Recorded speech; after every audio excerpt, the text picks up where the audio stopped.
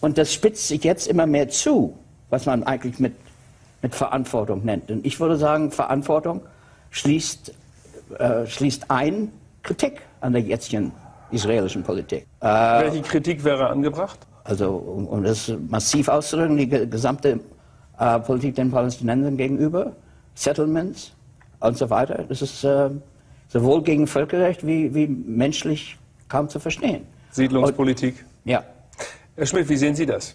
Kritik an Israel, möglich oder tabu? Ich stimme Fritz Stern zu, da ist vieles zu kritisieren. Aber es ist leider so, dass wenn ein Deutscher Israel kritisiert, dann wird ihm das als Antisemitismus ausgelegt. Die Äußerung von Frau Merkel, die Zustände auf der sogenannten Westbank, also in Palästina, oder die Zustände im Gazastreifen sind natürlich schrecklich.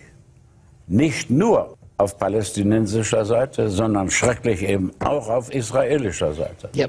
Dass da am laufenden Bande sogenannte Siedlungen errichtet, errichtet werden, zum Teil richtige Wohnblocks, und eine Mauer errichtet wird auf einem Gelände, das nicht zum Staate Israel gehört. Alles das sind Dinge, die eigentlich kritisiert werden sollten. Und wenn man sie verschweigt und stattdessen sagt, wir tragen eine besondere Verantwortung für die Sicherheit Israels, dann ist das möglicherweise eine nicht bis zu Ende gedachte Teil der eigenen Außenpolitik.